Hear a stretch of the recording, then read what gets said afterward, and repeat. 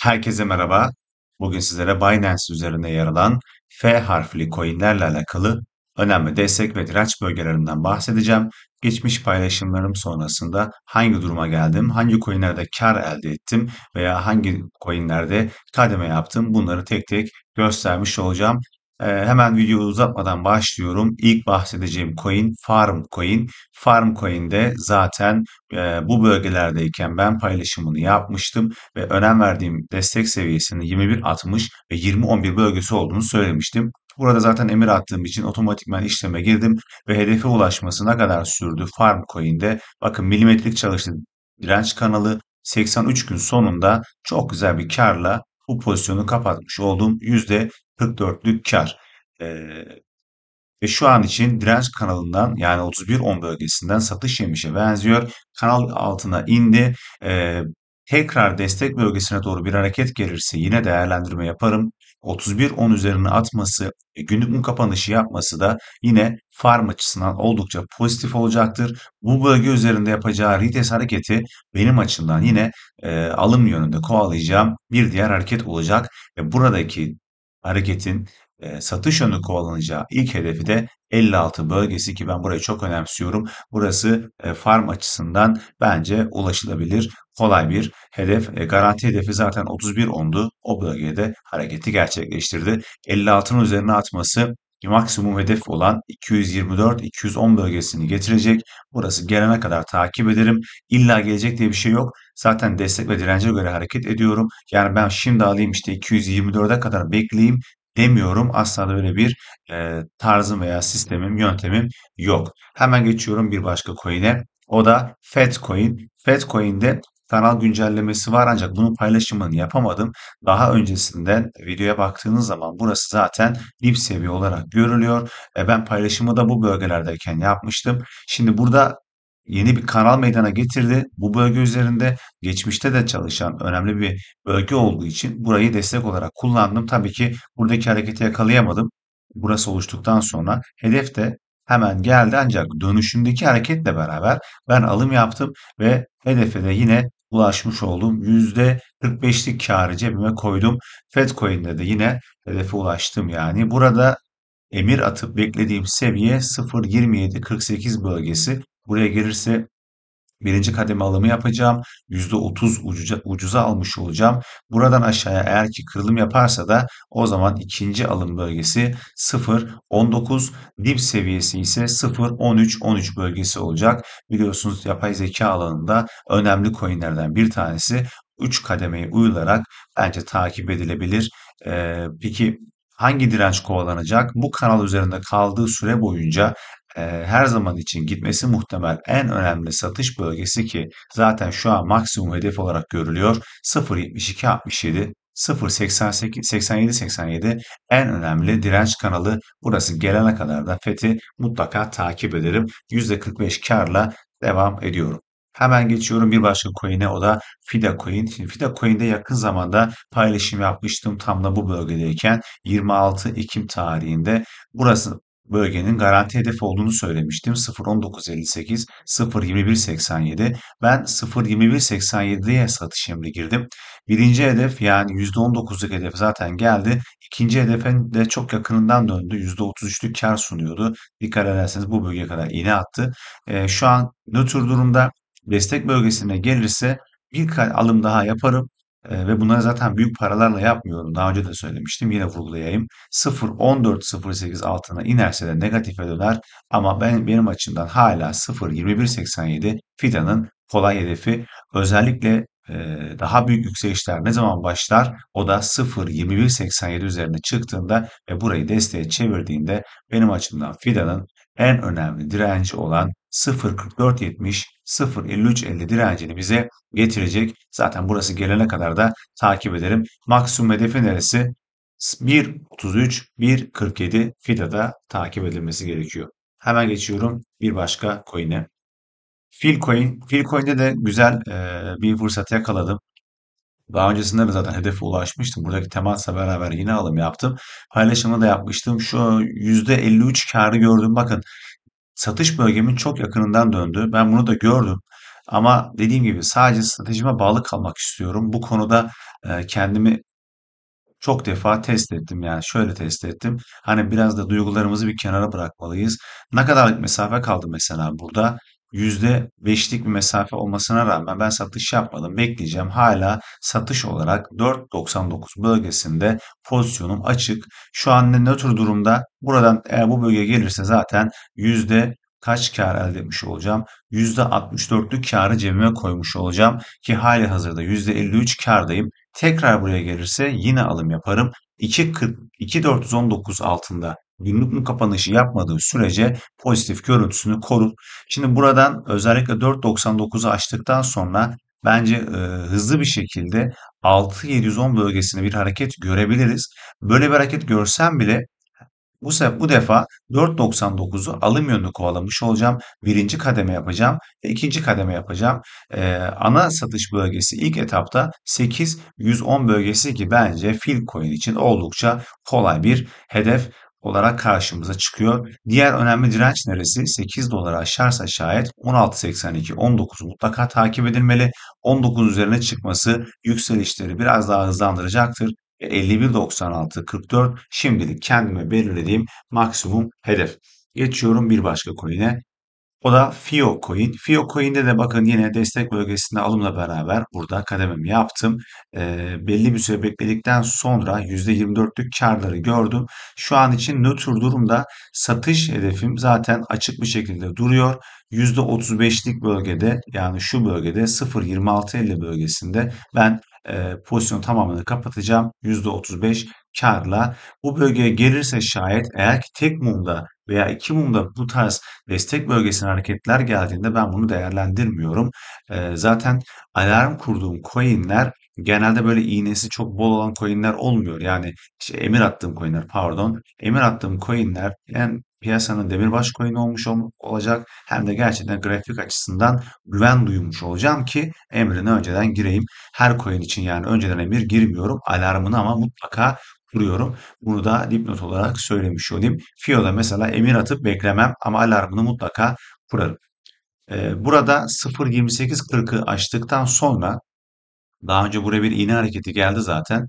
Ee, belki de hızlı bir şekilde çünkü FIO iğneleri gerçekten seviyor. Hızlı bir şekilde 0.3880 0.42 direnci benim açımdan FIO'da kolay bir hedeftir. Buraya bir hareket göreceğimize inanıyorum. Buranın üzerine çıkması ve desteğe çevirmesi de bize maksimum hedefi gösterecek. O da 0.8390 0.9340 benim açımdan FIO'da önemli sebeplerden, şey, seviyelerden bir tanesi mutlaka takip edilmesi gerekiyor. Hemen geçiyorum bir başka coin'e. O da Firo Coin. Bakın Firo Coin'de de e, daha öncesinde çok güzel bir hareket zaten yakalamıştım bu bölge üzerinde. Yine alım yaptım. Uzun bir sürede de yatay bir konumda devam ediyor.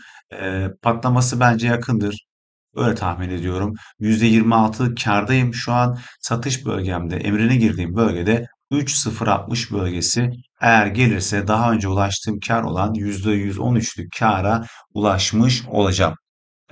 Burası gelene kadar da mutlaka takip ederim. 1.079 altında günlük kapanışı yapmadığı sürece pozitif görüntüsünü koruyacaktır. İstediği kadar yatay gitsin. Sabrımı sınasın hiç önemli değil. 3.060 gelene kadar takibe devam. Firocoin'de daha büyük yükselişler mutlaka bu kanalın aşımıyla olacaktır. 3.272 üzerine atması burayı sağlıklı bir şekilde desteğe çevirmesi bence e, önemli bir direnci karşımıza çıkartacak. 7.451 8.30 bölgesi şu an için Firo'da maksimum hedef olarak görülüyor. Geçiyorum bir başka coin'e. O da Fuzcoin. Şimdi Fuzcoin'de daha öncesinde de e, belirttiğim gibi bakın şu destek kanalı üzerinde yani bu da nasıl bir şanssızlıktır bilemeyeceğim ama bakın oluştuğundan bu yana çok çok az farklarla maalesef fırsatları kaçırdım. Emir atmıyorum inatla. Buranın alarmı çaldıktan sonra sonrasında almak için bekliyorum. Her defasında da çok yakınından döndü ve direnç kanalı da e, oluştuktan sonra yeni direnç kanalı oluştuktan sonra çok güzel çalıştı. Bugün için bugün için güzel bir e, kırılım yapmışa benziyor. Fızcoin eğer ki 0.3304 üzerinde kalıcılık sağlarsa, günlük kapanışı da yaparsa ve bu bölge üzerindeki kırılımla beraber oldukça pozitif olacaktır ve gitmesi muhtemel en önemli satış bölgesi 0.60 karşımıza çıkacak. 0.67.50 zaten ana satış bölgesi. Ben neyi beklerim? Ben yine de kendimi garantiye almak adına bu bölgeye doğru yani bir retest hareketi beklerim ki birinci kademe alımı yapabileyim. 0.67.50'yi açtıktan sonra da kendimize maksimum hedef e, belirlemiştim. Orası karşımıza çıkacak. 1.56, 1.68, 80 mutlaka e, ana satış bölgesi olarak takip edilmeli. Fızcoin'den sonra da FLM Coin. FLM Coin'de kanal güncellemesi var.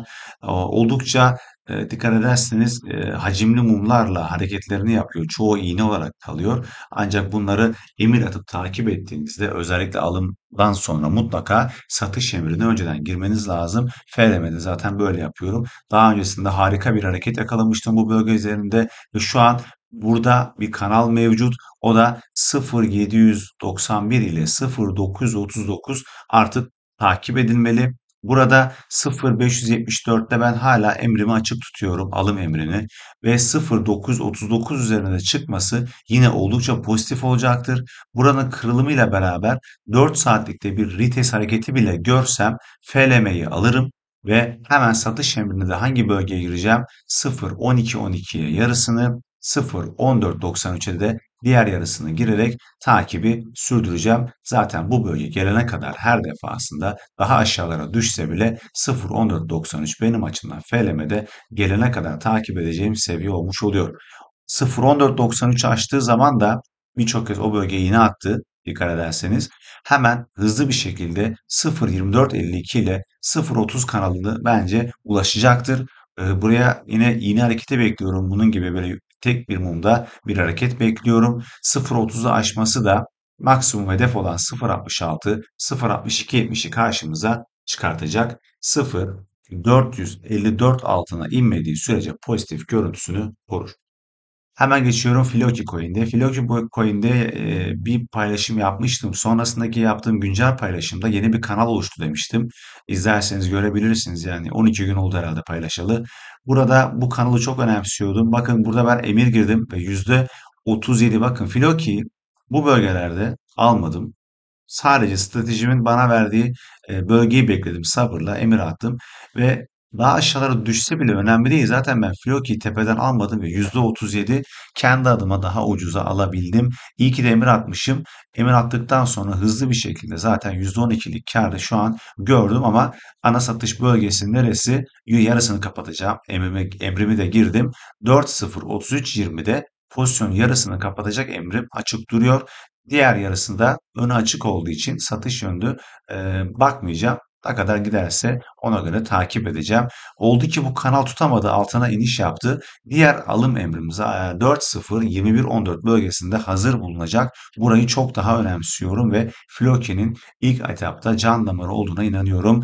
Özellikle 18.01 altına inerse de negatife döner. Yeni bir kanal oluşmadıkça veya 4.0-21.14 üzerine çıkmadıkça alım yönünde düşüncem olmaz. Şu an için birinci kademe alımı bugün içerisinde yapmış oldum.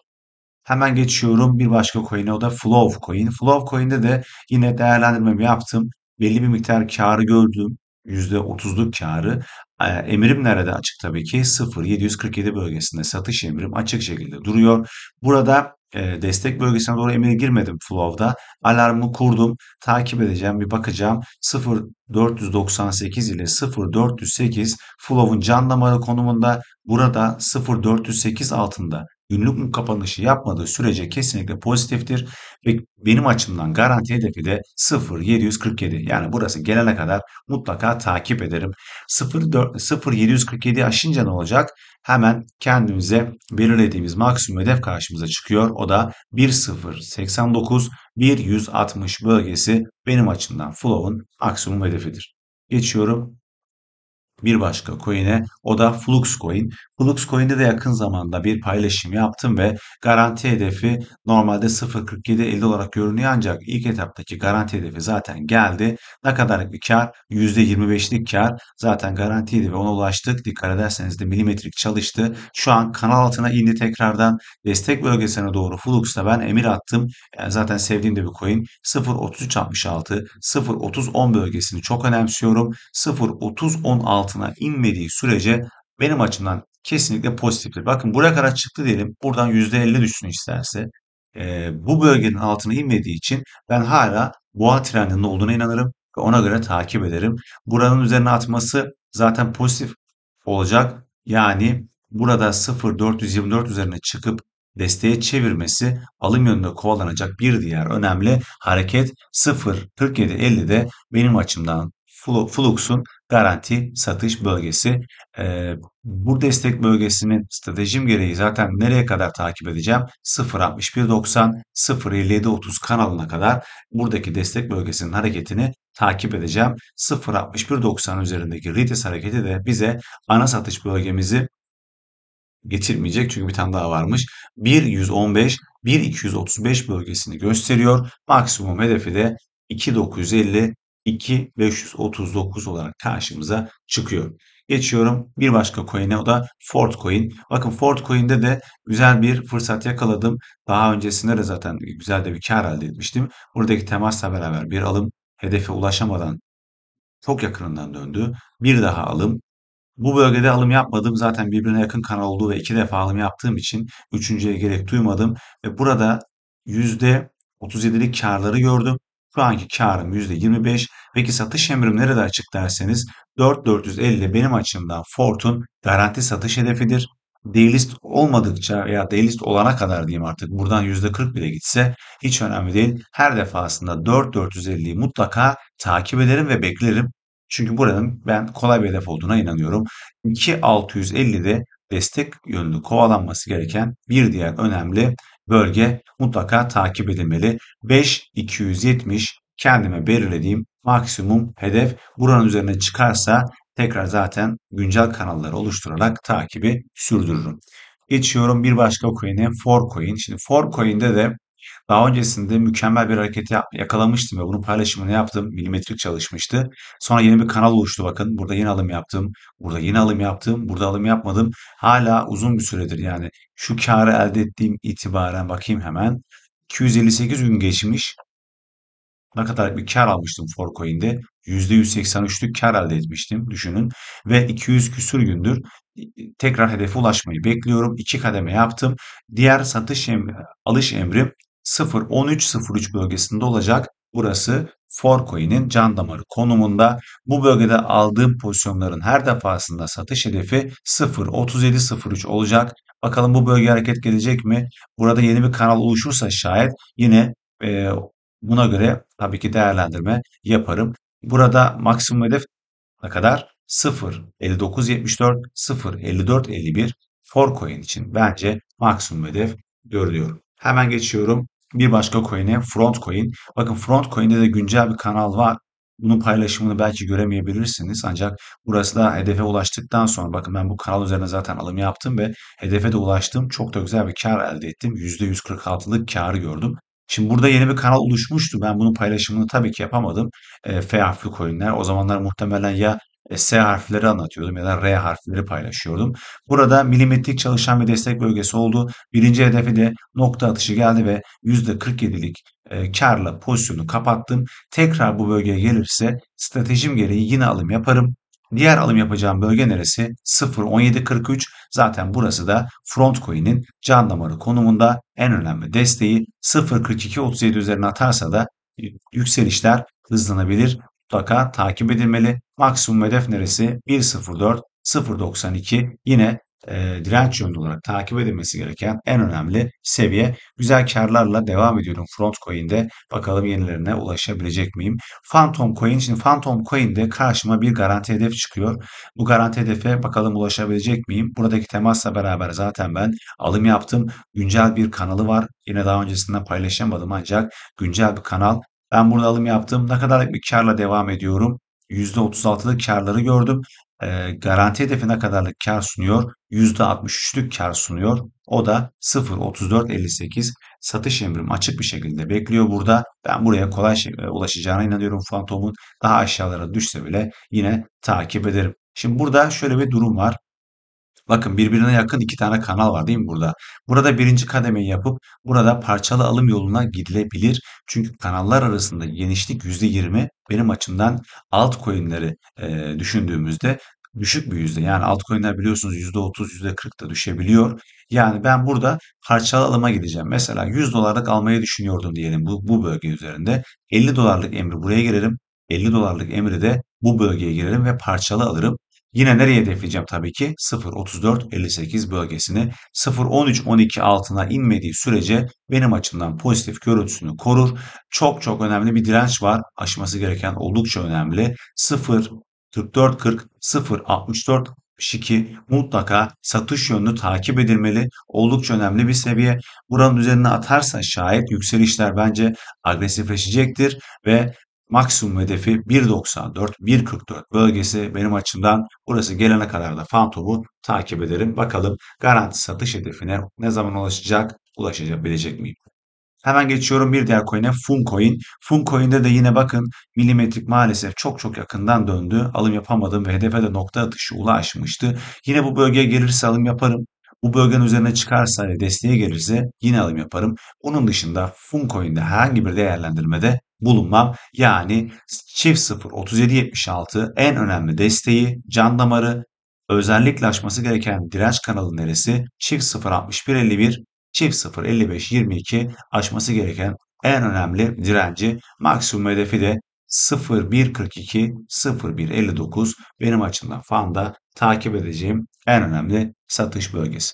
Geçiyorum bir diğer coin'e FXC coin. FXC coin'de de bakın kanal güncellemesi mevcut. Daha öncekinden farklı olarak görebilirsiniz ancak burası çok çok önemli bir destek. 504 ile 4298 desteğini çok önemsiyorum. Buradaki alınan pozisyonların satış hedefi de garanti satış hedefi zaten %30'luk kar, %39'luk kar sunuyor. 7098 mutlaka takip edilmeli. Bence FXC'nin kolay hedefi. Buranın üzerine çıkar, çıkarsa şayet bence hızlı bir şekilde 908 9.90 bölgesine de gidebilir. Burayı e, çok önemsiyorum. Ona göre takip etmekte fayda var.